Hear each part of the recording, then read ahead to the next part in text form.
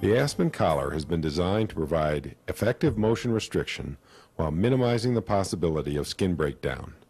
A study published in the Journal of Trauma confirms the fact that the Aspen collar supports the head without creating localized pressure points.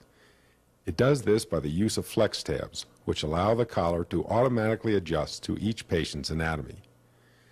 These tabs support the chin piece and line the lower edge of the front panel as well as the upper and lower edges of the back panel. These flex tabs allow the areas of the aspen that come in contact with the patient to conform to each patient's anatomy to provide essentially a custom fit.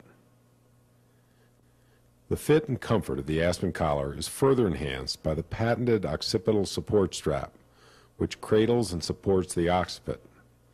Tightening this strap also has the effect of changing the shape of the collar, which subtly adjusts the areas of contact beneath the patient's mandible.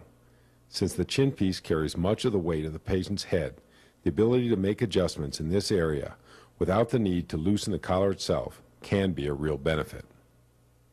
To prevent the buildup of heat and to allow moisture to evaporate, the supporting structure of the Aspen collar stands away from the patient's neck and features large vent holes in both the front and back panels.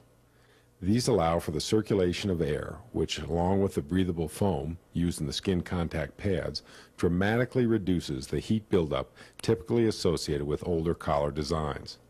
This is especially important as research has shown that the elevation of skin temperature by as little as 1 degree centigrade significantly increases the metabolic activity of the skin and hence the likelihood of skin breakdown.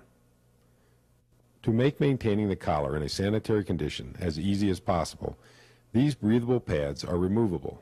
Just pull off the soiled pads and replace them with a fresh set.